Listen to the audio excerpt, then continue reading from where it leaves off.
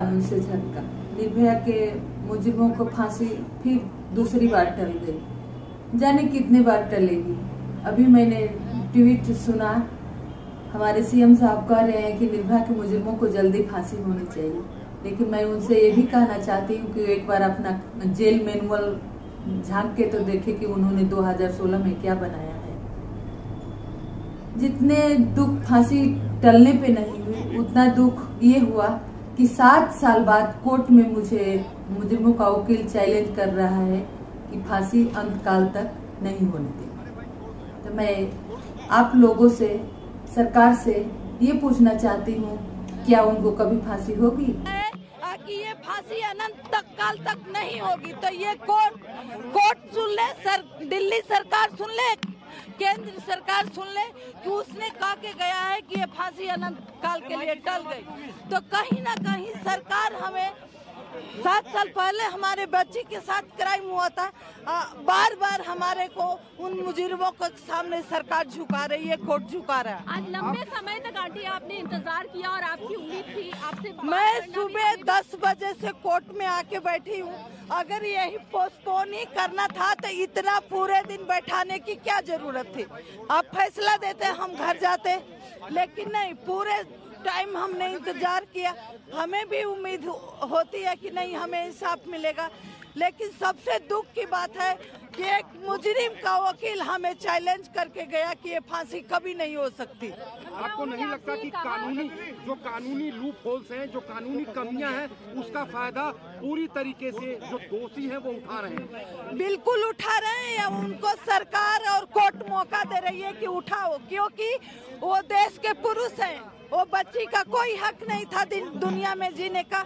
इन्होंने क्राइम किया लेकिन इनका हक है कि ये बार बार फांसी के डेट को पोस्टपोन करवा रहे हैं। और मेरे को चैलेंज करवा करके गया कि फांसी नहीं हो सकती। बहुत उम्मीद से थी चमत्कार होगा आपको नहीं, उम्मीद था लेकिन नहीं। चमत्कार नहीं हो पाया जो उम्मीद आपकी नहीं मुझे कोई उम्मीद नहीं थी कि चमत्कार होगा लेकिन सुबह भी मैंने कहा था कि डेट वारंट जारी है तब तक उम्मीद है। लड़ाई क्या सोचा आपने?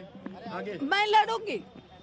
सरकार को उनको फांसी देना होगा। और नहीं तो पूरे समाज को सुप्रीम कोर्ट से लेकर लोअर कोर्ट को सिलेंडर करना होगा कि हमने फांसी की सजा लोगों को गुमराह करने के लिए दिया था शांत करने के लिए दिया था।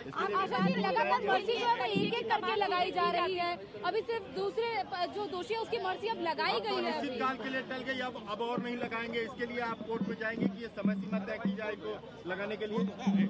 अब हो सके सरकार का मन बदल गया हो कि उनको नहीं फांसी आशा देंगे आप ये भी कह रही थी कि वोट के लिए सरकार इस तरीके की करती है कि हाँ फैसला होगा, लेकिन हो नहीं पाया। क्या कहना चाहिए आप ही देखिए, हमेशा से सरकार वोट के करना चाहती है, नहीं करना चाहती है, मुझे मैं इस पे बात करना नहीं चाहती हूँ। लेकिन मैं आज यही सरकार से, अपने कोर्ट से, न्याय व्यवस्था से, केंद्र सरकार से यही कहना चाहती हूँ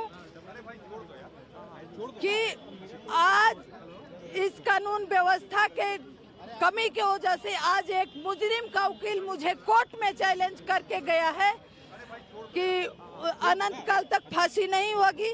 तो कहीं न कहीं वो जो चाहते थे मुजरिम वो हो गया। तो इस पे अब कोर्ट विचार करे सुप्रीम कोर्ट विचार करे कि सुप्रीम कोर्ट ने उनकी रिव्यू खारिज करी उनकी क्यूरी पटिशन खारिज करी। तो आखिर वजह क्या है कि उसने मुझे चैलेंज किया कि फांसी नहीं हो सकती। पिछली दो बार तो तारीख भी मिली थी 22 जनवरी फिर एक फरवरी इस बार तो कोई तारीख भी नहीं मिली है। क्योंकि जो मुजरिम चाहते थे वो हो गया। वो चाहते थे कि ये फांसी अनंत काल तक टल जाए, वो टल गई।